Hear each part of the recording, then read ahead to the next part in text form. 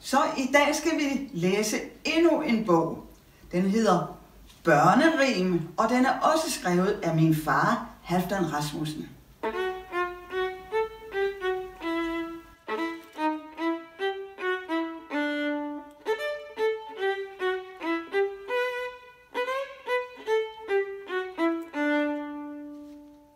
Himpe Gimpe.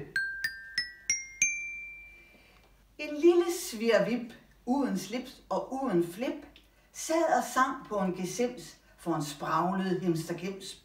Men da gemsen ville pimpe med en simpel hempe-gempe, spirede vippen bort til slut med en sippel debedut. Pumpegris.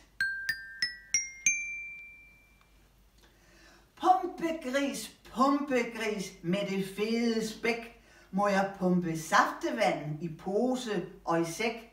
Ja, Mathis, ja, Mathis, pump du bare væk.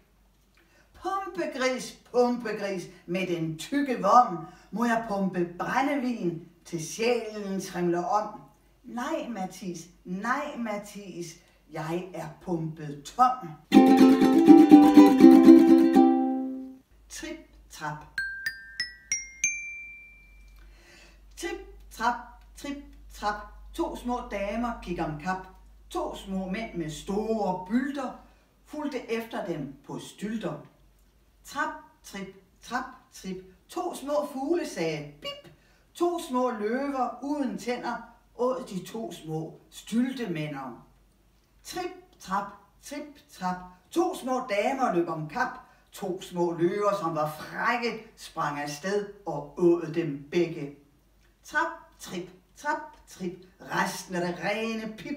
To små løver blev til hjorte, åd hinanden og var borte.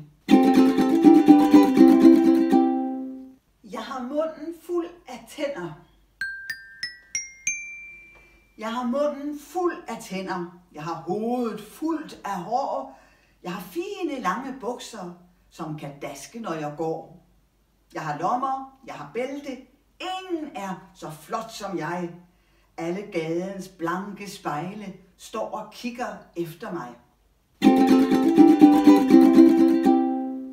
Og så er jeg blevet færdig med at læse digte fra børneringen. Og det bliver de sidste, jeg kommer til at læse i den her omgang. Men der er jo mange andre digte i den her bog, og også i de andre bøger af min far. Så dem har jeg jo masser af tid til at læse lige nu. Tak for nu. Vi ses måske en anden gang. Farvel.